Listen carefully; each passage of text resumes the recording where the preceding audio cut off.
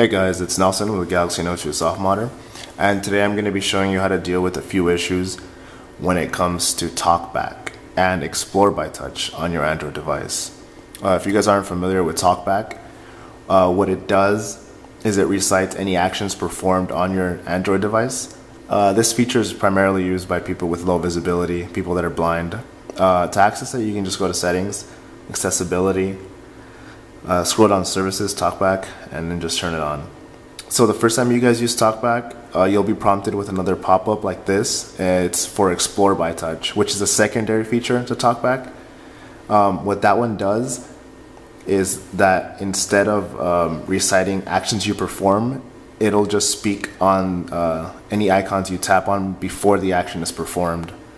So it's kind of like preliminary to talkback. Um, once you enable it, you can press OK. And Explore by Touch is actually the culprit for some of the issues that, that can happen. So I'll press OK. Settings. List showing one items. Okay, I'm pressing OK. This enables Explore by Touch as well. You can't see it here, but it's, it's on right now. So uh, one issue that people have is um, bypassing the lock screen. So I'll show you guys. TouchWiz Home. Loss and screen off. Ringer 70%. Okay, so as you guys can see at the bottom, it says double tap. It says double tap and then swipe the screen to unlock.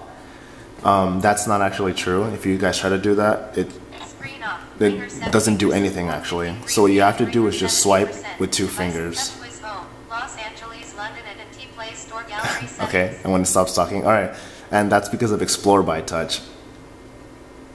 So on the Nexus devices, you can disable Explore by Touch, but it's only on the Nexus devices like the Nexus 4, the Nexus 7. Um, it's only those devices where you can disable Explore by Touch, which is what causes a lot of commotion with it. So uh, in the next part of the video, I'll show you guys how to bypass a lock screen when it has a pin code. Okay, so we're back. Whoa. okay, so we're back. PM Ringer silent. And uh, with the Note 2, it's kind of strange because you're supposed to um, hover, uh, tap on whatever number and then double click off. Ringer silent. so that you can press it. Um, but instead here, you can just. You can just tap it like that and then uh, enter. And then you can enter the device. So that's not what's supposed. Oh, okay. I'll turn it off. What's supposed to happen, I'll show you guys with the Galaxy S3, is you're supposed to hover over it and then double tap. And then double tap again. Whoa, let's see.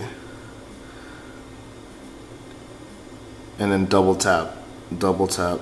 Well, I keep pressing 5. Okay. Double tap. And then double tap.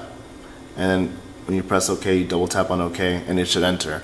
So that shouldn't be the case. It, it, you should always be double tapping, which is kind of strange on the Galaxy Note 2. So uh, once you, uh, if you want to take off uh, TalkBack, which will take off Explore by Touch, you'll have to go to Settings. So you can tap on Menu and access Settings easily there. And if there's other devices like the Galaxy Tab, uh, you'll have to scroll from up here and go to the settings up here. So I'll just go from down here, like how I'm accustomed to. Um, you'll see that a yellow box forms around settings. That's the current, um, the current thing that you're selecting.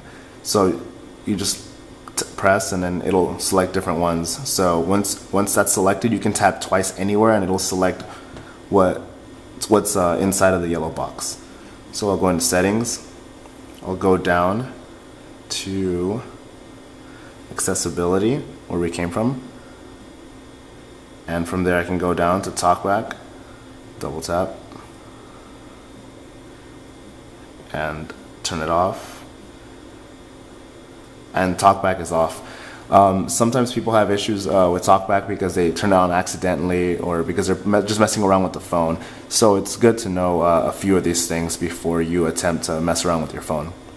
Alright, well that's it guys. Uh, thanks a lot. Don't forget to like, comment, subscribe, and check out the full tutorial over at Galaxy Note 2 Soft Modder.